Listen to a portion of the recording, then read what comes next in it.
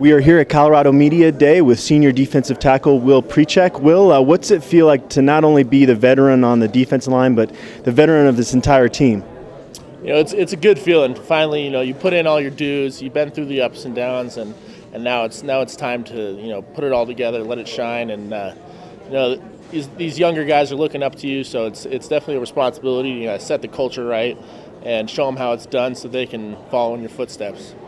You mentioned the young guys, and, and you've got four uh, freshmen uh, in the interior of that defensive line. How much are you playing the role of mentor during camp here?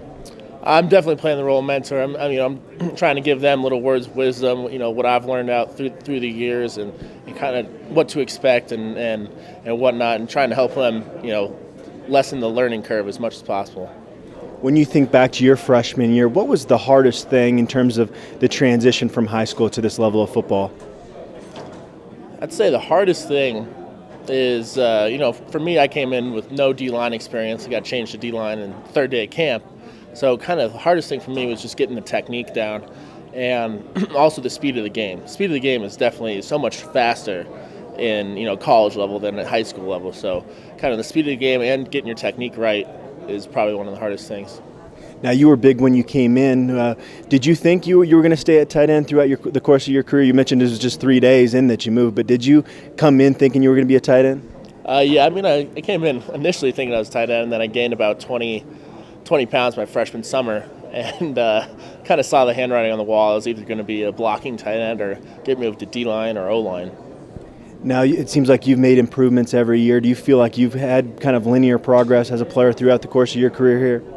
Absolutely. You know, just kind of picking up the technique from freshman, sophomore, and then we got these new coaching staff in, and you know they taught different techniques, so I kind of had to pick up on that. And so, you know, right now I feel very comfortable with with what I got to do and how to do it, and so now it's kind of just you know improving on the the fundamentals and getting everything right. Uh, coach and the strength and conditioning coach, told me uh, that he wanted to get a lot of guys to lose body fat to you know improve the overall team speed. Have you noticed a difference in that regard? Well, me personally, we kind of did a before and after picture. it, was, it, was, it was pretty pretty impressive what, what I looked like. I knew I looked white and fat, and then afterwards I was kind of tan and, and definitely thinned down, and, and uh, it, was it was very impressive what uh, Coach Black's done throughout the summer. Now, uh, last year's senior group wanted to win that long losing streak. They were successful doing that. I hear all the seniors on this team, even though there's a very few of you, talk about bowl game being the, the goal. Is that pretty much what your focus has been on uh, this offseason going into the season? Absolutely. You know, that's our goal. We got to get to a bowl game. I haven't been there, and I've been here five years, so, you know, bowl game is, is what we're looking at, and, and we're going to get it. Is, has this incoming freshman class uh, injected uh, something into this program that's going to put it in uh, good standing for, for years to come? Oh, absolutely. I think I think you know coaches got their their feet underneath them with recruiting and getting getting the type of players they want, and so I think you definitely see you know the recruiting class is getting better and better, and so that's just going to put more and more pressure on everybody to compete and get better, and you know in the end that's going that's what you know a good program is. Josh Tupou doesn't look like your typical freshman. I think he's about 325 pounds. Uh, what are just kind of your initial impressions uh, of him up there up front? Well, yeah, he looks like he's about 32 years old and father of two, but uh, he's he's big, strong, and you know he's a quick learner, and so that's that's, that's a good thing for D lineman, and uh, he's picking up well, and he's, he's he's playing well. And behind you, linebacker, they've got some talent, some depth. Uh, uh, you know, how much of your job is to free those guys up, not to have you know blockers coming at them?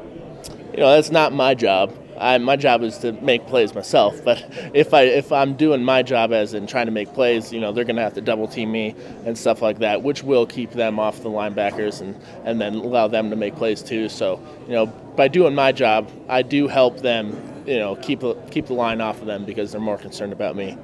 What's the camaraderie been like on the team this camp versus years past? You know, it's been it's been good. You know, uh, everybody's really excited and, and getting everything kind of going. Uh, as far as the defensive side, you know, I like I like what what we what we have going uh, as far as you know, kind of like the dark side, and um, and you know, we're we're we're, we're going to do well. I feel like.